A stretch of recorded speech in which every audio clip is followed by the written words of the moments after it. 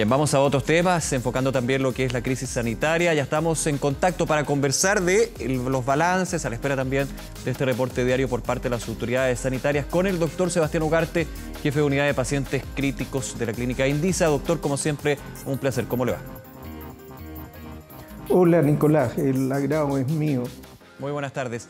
A ver, eh, estamos a la espera de lo que van a ser las nuevas cifras y insisto, más allá del número son las personas que representan esos números y desgraciadamente uno esperaría de que ya eh, se supere lo que es esta barrera, este número terrible que es de los mil fallecidos. Eh, esos fallecidos evidentemente preocupan por la tendencia que ha sido al alta. El día de ayer eran 54, las últimas 24 horas y se representa más bien por el estrés que ha tenido el centro, la red hospitalaria.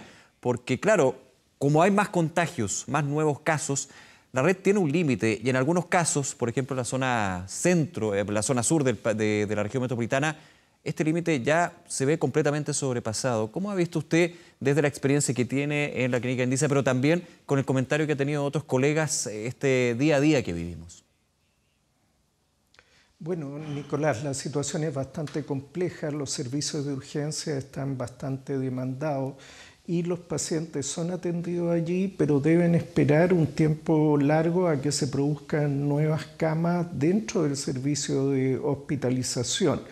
En el servicio de hospitalización se está trabajando con un sistema un poco de camas calientes, en el sentido de que cuando un paciente está más estable se traslada desde UCI a intermedio, de intermedio a piso, de manera de ir generando camas.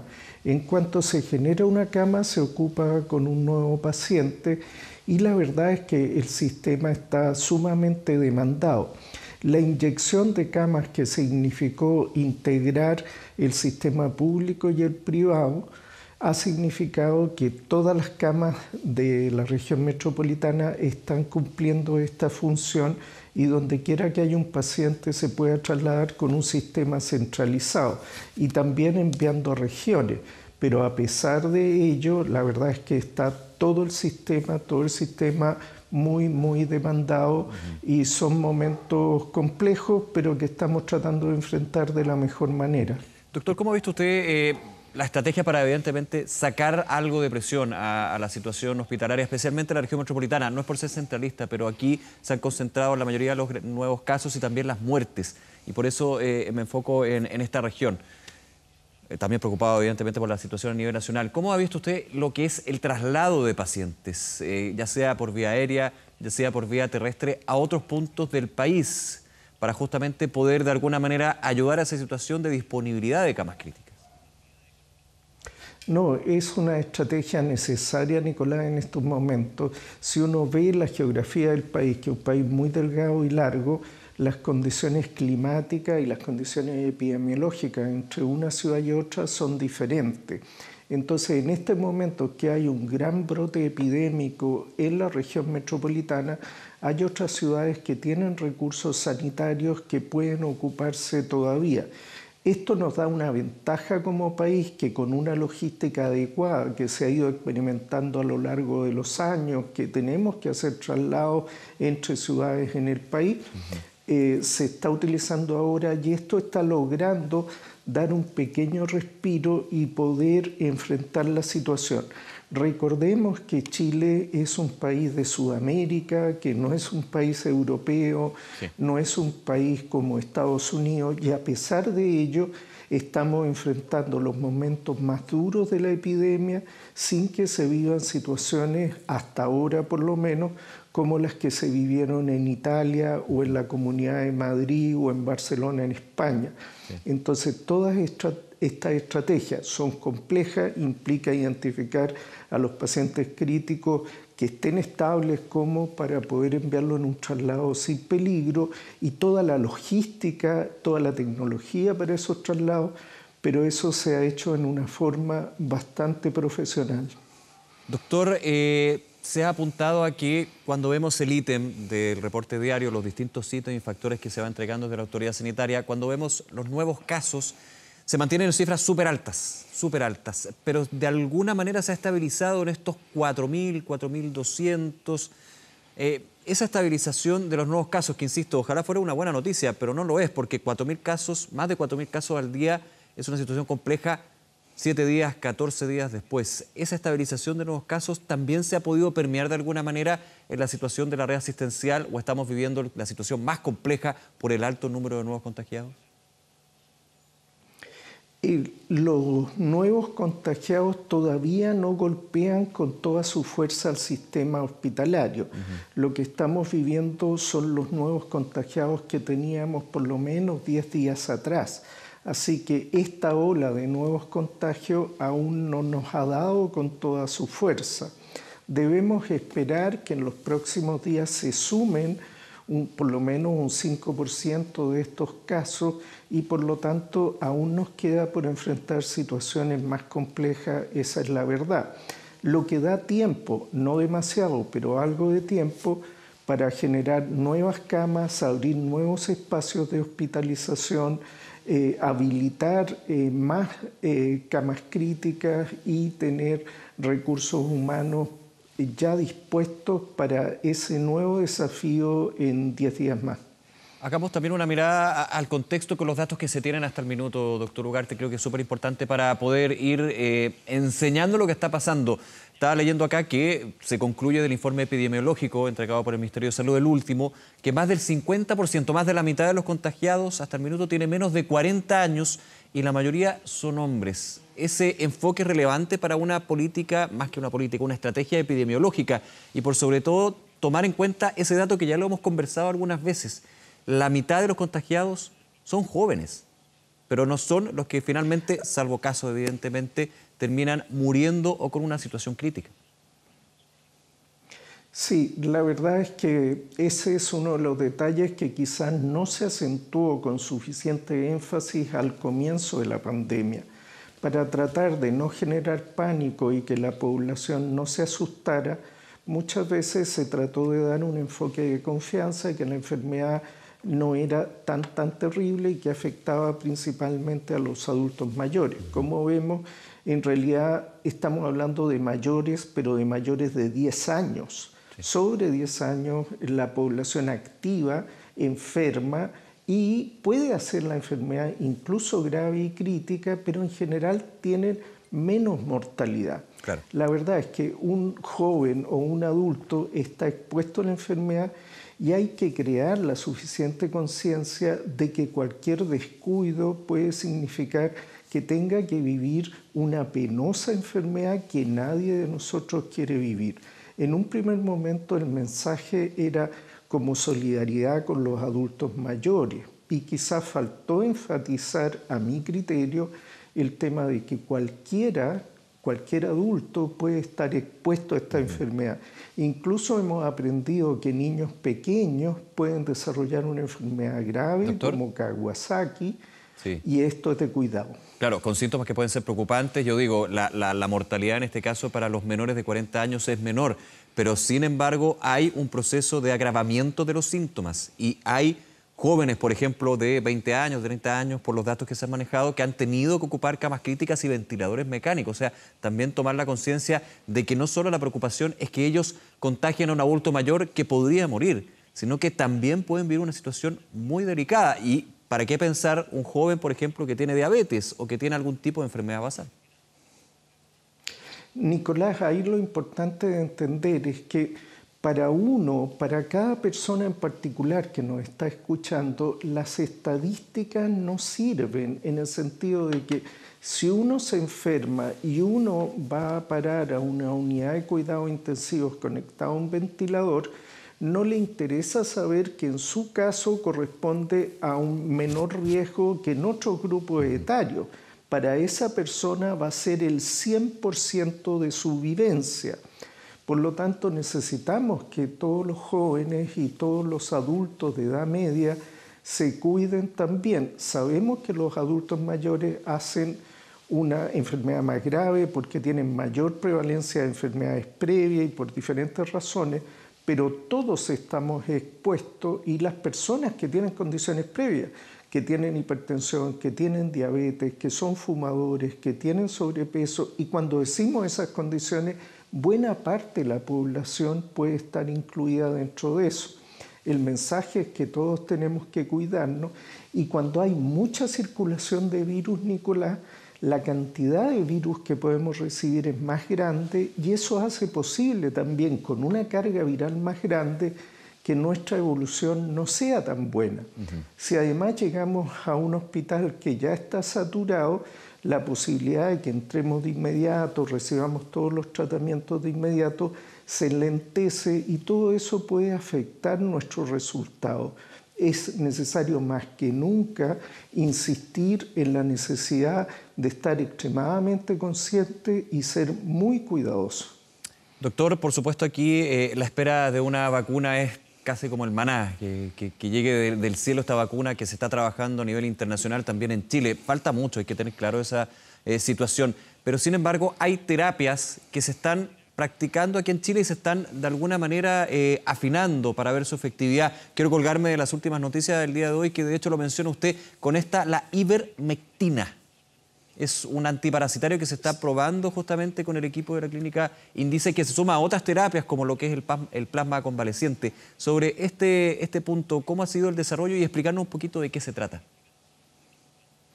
Sí, la verdad es que el plasma de convaleciente que comenzamos a probar hace un tiempo atrás es bastante efectivo en una etapa más avanzada de la enfermedad y es una terapia que se ha usado antes y que logra disminuir la gravedad del cuadro, pero se tienen pocas unidades, se requiere obtener de donantes, en fin.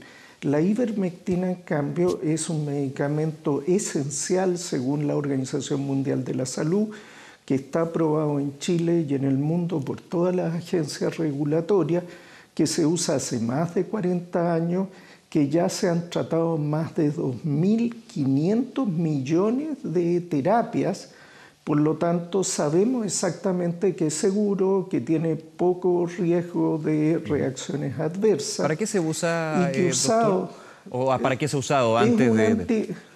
Claro, se, ha usado como un antiparasitario para diferentes tipos de parásitos, incluso en sana o escabiosis, y con, buenos resultados. En nuestro país está disponible, es barata, no es cara, y eh, tenemos suficiente experiencia los médicos en su uso. ¿Cuál es la, la ventaja de utilizarla? Es que se utiliza precozmente la enfermedad tiene tres problemas. Uno es el virus en sí mismo. El segundo problema es que genera una inflamación muy importante. Y el tercer problema es que genera trombosis muy importante. En este primer elemento, en el virus, lo que se ha demostrado es que una dosis de ivermectina elimina la reproducción del virus dentro del huésped humano en forma rápida y eficiente.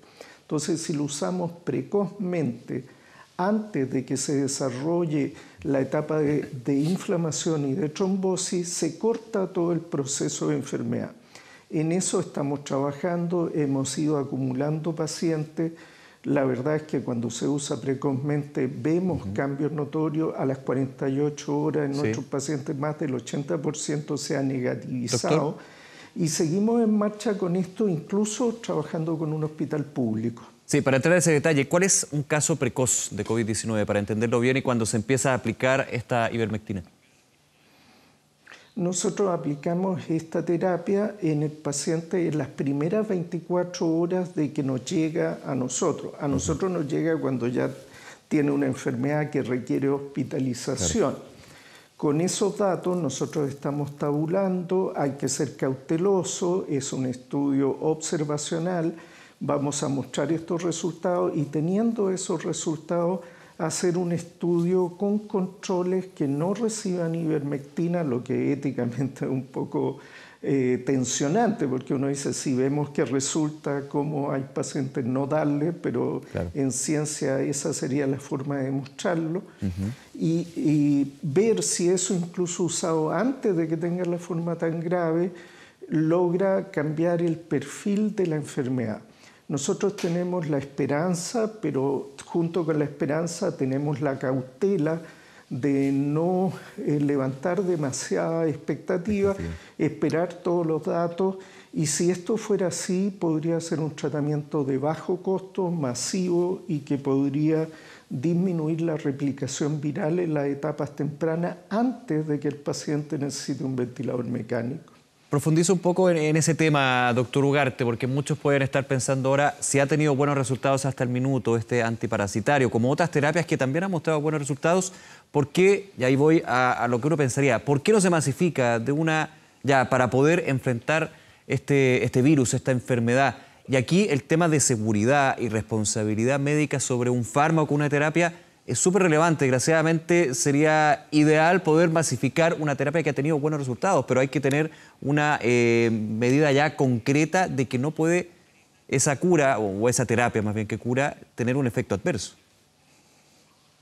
Sin duda, es necesario ser cauto o sea, la información que tenemos de inmediato la compartimos con las autoridades de salud y las autoridades científicas, pedimos todas las aprobaciones de los comités de ética de nuestra universidad y del comité científico de nuestra institución para poder hacer este estudio, pero hay que estar seguros que, por un lado, el medicamento es seguro. En esa parte no hay tanto problema porque con tantos millones de personas que lo han recibido, la verdad es que la posibilidad de riesgo es baja. y segundo, que, que los efectos beneficiosos que estamos documentando se deben efectivamente a ese tratamiento y no a otra cosa.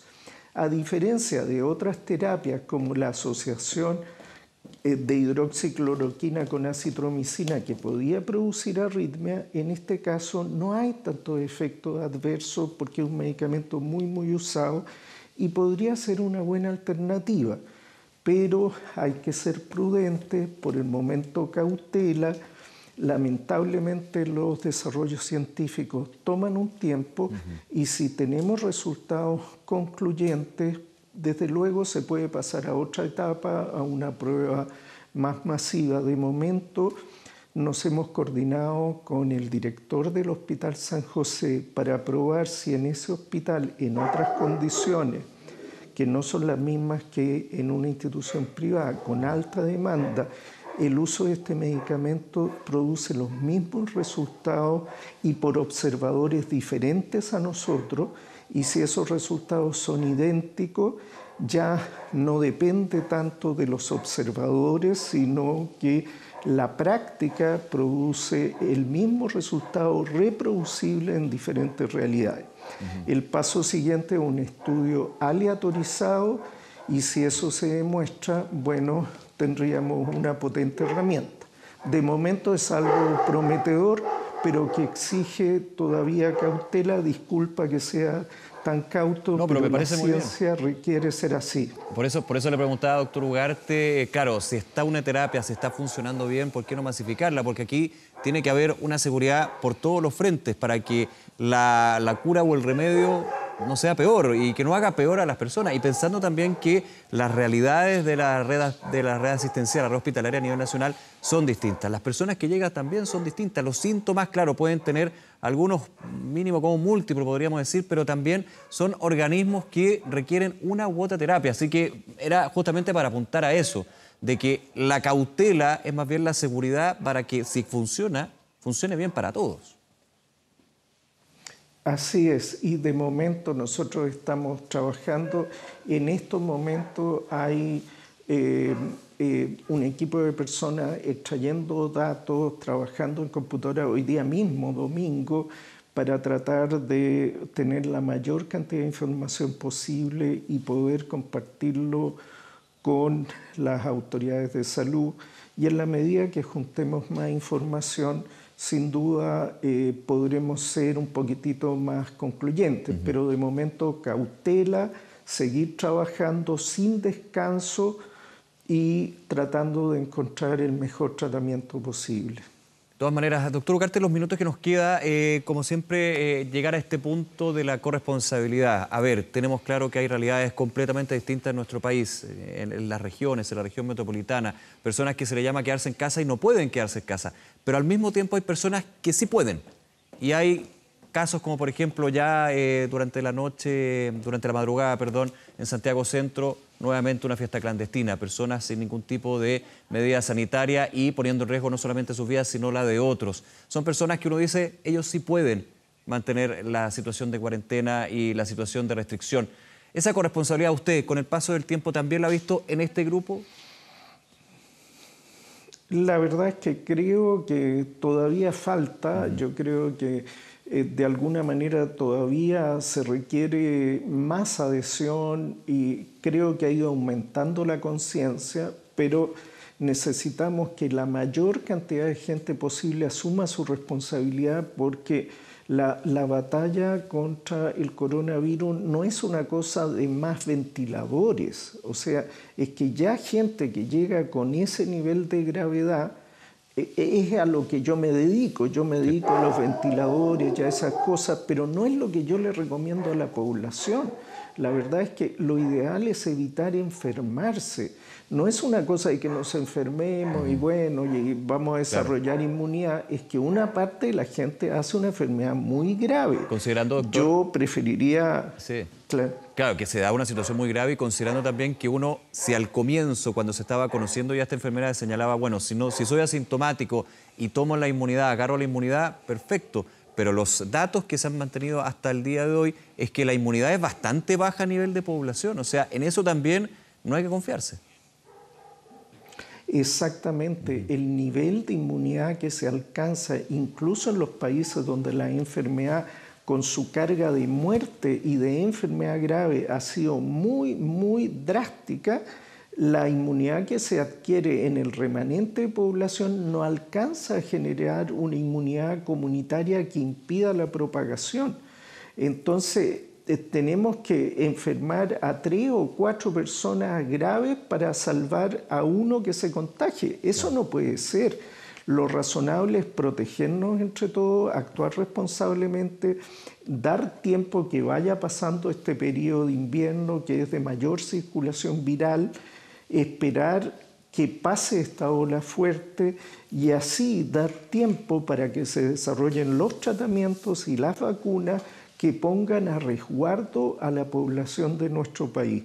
Yo creo que todos hoy día en nuestra casa tenemos que entender que no es el momento de fiesta, no es el momento de compartir y de celebrar, es el momento de la responsabilidad ciudadana y todos tenemos que responder y cuidarnos por el bien de nosotros mismos y de quienes nos rodean. Como país, yo creo que podemos responder y tenemos que responder a ese desafío y la responsabilidad no es de otro, es de nosotros mismos, Nicolás. Importante el punto también ahí, doctor, eh, no esperar la cuarentena cuando es decretada por parte de la autoridad sanitaria, y esto lo digo a nivel general, que uno también viva en una constante cuarentena, desde el lavado de manos, desde el uso de mascarilla y por sobre todo del distanciamiento físico. No es hora de juntarse, decía usted. La Organización Mundial de la Salud, de hecho, ha ido cambiando el concepto de distanciamiento social. Dice, es importante actuar en sociedad hoy como nunca, pero sí de lejito, con ese distanciamiento físico. Exactamente. Hoy en día podemos saludar a nuestra familia, llamarlos por teléfono, enviarles mensajes, mostrar nuestra preocupación por ellos sin necesariamente estar en un contacto físico. Es muy importante tomar los cuidados como país. Nosotros podemos responder en estos momentos, no hay una solución milagrosa a la enfermedad no hay una medida que pueda tomar alguien que vaya a hacer desaparecer la enfermedad de, nuestro territorio y requiere de la preocupación ciudadana, de ser cuidadoso. Si cada uno de nosotros colabora en esto, la epidemia se va a poder controlar, los recursos van a alcanzar y hoy en día está golpeando. Casi todos tienen alguien en su familia que ha enfermado o que está en contacto con alguien enfermo y tenemos que parar esto aquí y ahora con responsabilidad de todos nosotros y tenemos que estar unidos como país, Nicolás, frente a esta epidemia. Una unión también que va a depender de esa responsabilidad y por sobre todo de la espera. Eh, doctor, eh, también hay un tema relevante, lo que son, estábamos hablando de las terapias, pero la situación de la infraestructura. Y quiero hacerlo brevemente, en lo que son ventiladores, como ya conocemos, hay también eh, alternativas como el eh, flujo de alta oxigenación que se está aplicando ya desde hace algunas semanas, pero la situación del personal de salud, en su experiencia, lo que vive día a día, eh, también cómo se va sobrellevando, porque eso también puede generar esa responsabilidad a nosotros al ver que hay personas que se están arriesgando día a día con esta enfermedad.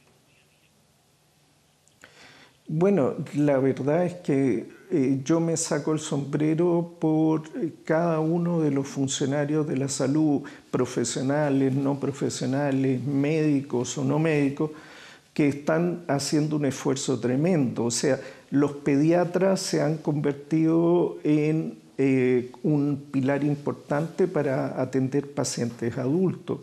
Los anestesistas han salido de los pabellones y están atendiendo en urgencia o en camas de hospitalización. Los cirujanos están prestando su colaboración. Claro, ha habido una reconversión, pero por sobre todo un poner el hombro a esta situación para ayudar a otros. Hay algunos que también cumplen hasta medidas administrativas, como es el seguimiento de casos de PCR positivo. Así es, y eso es tremendamente importante. Mm. Una de las áreas en que quizás se puede avanzar un poco más en Chile en el seguimiento de los casos. Toda esa verdadera primera línea, que la verdadera primera línea no está dentro de los hospitales, debería estar en la comunidad, identificando los casos, identificando los contactos, eh, haciendo los aislamientos, haciendo aislamientos más efectivos con residencias sanitarias, es la clave para detener esta epidemia que está ya costando muchas vidas en nuestro país. Los funcionarios de la salud, de la atención primaria de salud, deberían ser un tremendo aporte en esta etapa y yo creo que ellos, al igual que quienes estamos dentro de los hospitales y clínicas, van a dar su mayor esfuerzo y, entre todos tenemos que tratar de contener esta epidemia.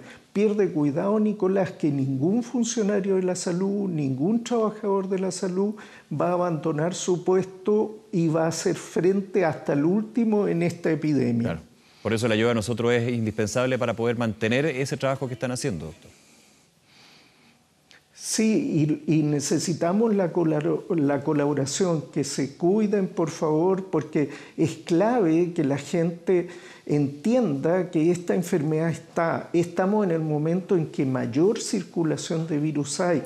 El porcentaje de positivo entre los exámenes realizados es tremendamente alto, lo que habla de que hay muchos virus en cualquier lugar que uno puede transitar. Hay que tener extremo cuidado en estos días. De todas maneras. Doctor Sebastián Ugarte, como siempre, muchas gracias por la conversación y que tenga un buen día. Nos vemos, que esté bien. No, gracias a ti, Nicolás. Hasta luego.